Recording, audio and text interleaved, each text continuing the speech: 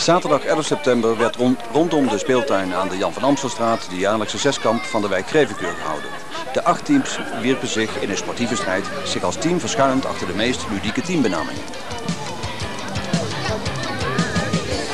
En ook de jeugd vermaakte zich opperbest. En zelfs kleine Brammetje werd niet vergeten.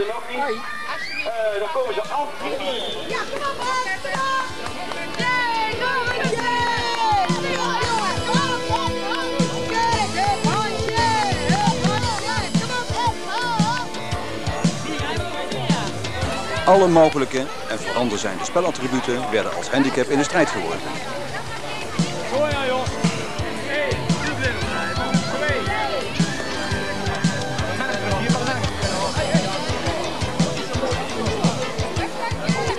Uiteindelijk ging de winst en dus de beker naar het meest succesvolle team, Tivas.